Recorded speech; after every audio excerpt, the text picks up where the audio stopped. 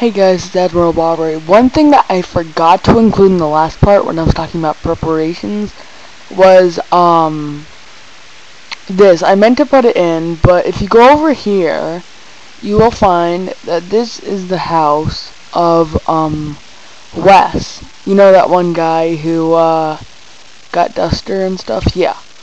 Well, behind his house, you can get a Thunder Bomb and thunder bombs. Well, actually, um, if you talk to him as well, he will give you. Uh, stupid. I, at least the inventory space is bigger than the other two. He will give you a thunder bomb. But you might think, oh yeah, it's pretty cool that you can get two thunder bombs like that. But wait, because Thunder Bombs, bombs are very powerful items, and the boss of this chapter is very, very weak to the Thunder Bombs.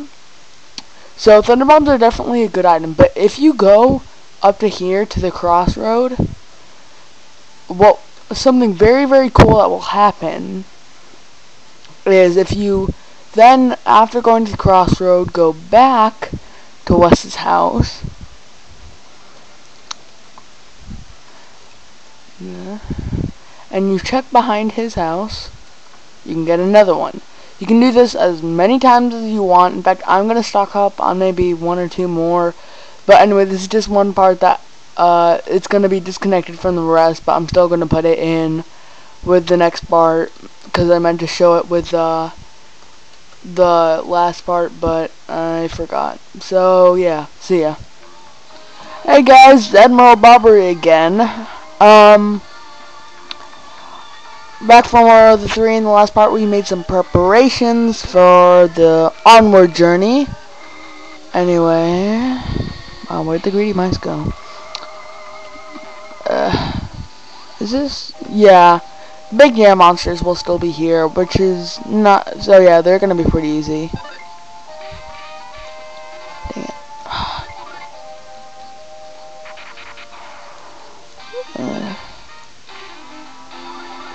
Because I say they're easy, and then they start being really annoying.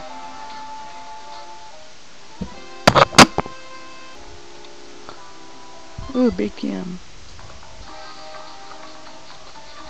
Uh, oh yeah.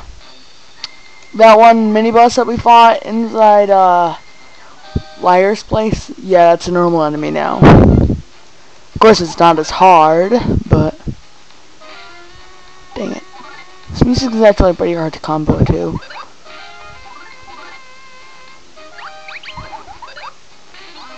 Whatever. But I do recommend training for, I don't know, not too much, but a bit. Uh, mm-hmm. Okay, but anyway.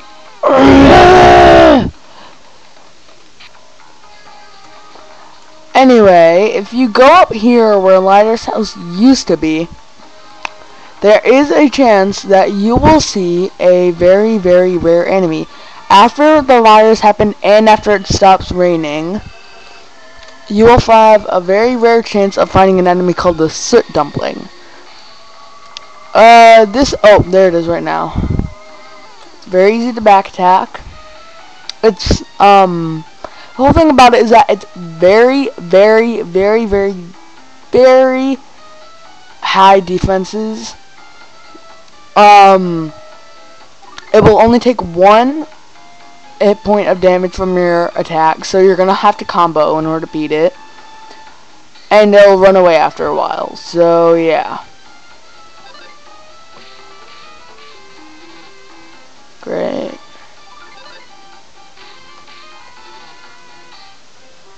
Oh, see, they don't have a lot of attack power. He got a smash it and it only did one damage.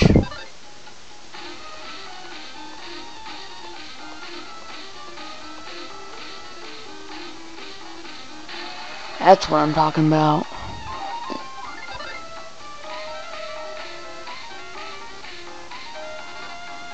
Should be dying soon. Uh, that's another thing you can do. Uh, Oh well. This enemy isn't as rare as some other rare enemies in the game. So, uh... See, it's... There... Ah! Don't dash around it, or else it'll blow away.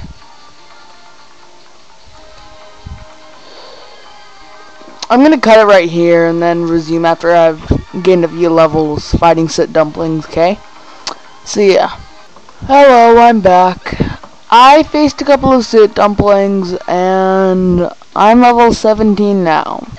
To be honest, that's kind of over leveled. Nonetheless, I don't even know. Anyway, they're, the Soot Dumplings are a pretty good enemy to fight if you're kind of underleveled. I would recommend being from 14 to 18 for, like, kind of the rest of this chapter. And also, I can now skip over Big Giant Monsters Mighty Bitey Snakes, but not any of the other enemies like that, and I just got back-tacked. First time I've ever gotten back-tacked. But, um, skipping over enemies will not get you experience. Uh... As I was saying, skipping over enemies will not give you experience, but what it will give you is, uh, I don't know. Um, it won't give you any experience like in Earthbound. That was weird.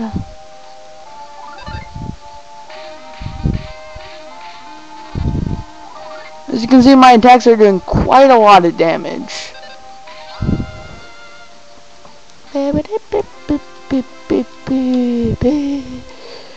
I do not want to make yam because I am already what's here and an antidote. Why would I go down here to get an antidote? That actually did get poisoned whenever I was going, and uh, I had to go all the way back down to the hot spring, and oh god, not fun. See, they, they die in one hit. I mean, I know they're kind of frail enemies, but still.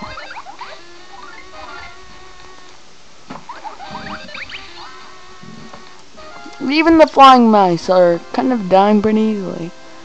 There is some peculiar cheese, which I want, because it will heal 60 HP.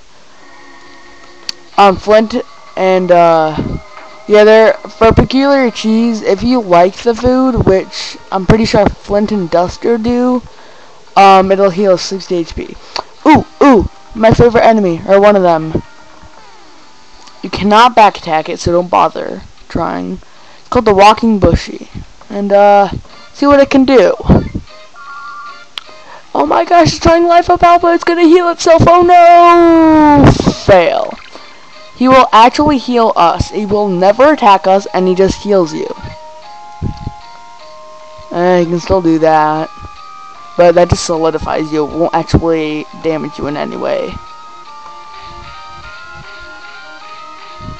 And he dies. I'm sorry, but... Also here are these guys. They like to attack in groups. They're called the Spud Bugs. I didn't mean to do that.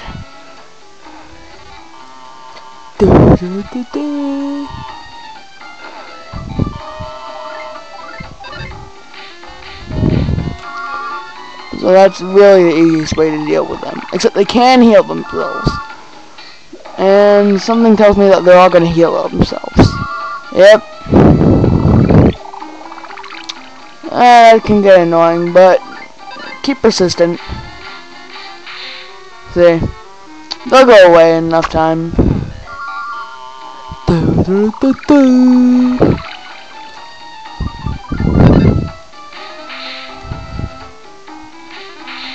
See? They're not really that threatening, and a running bomb. Ooh, running bomb. What? No! No. Yes. I will throw away my big yam. Because running bombs are cool. See, I can already skip over them.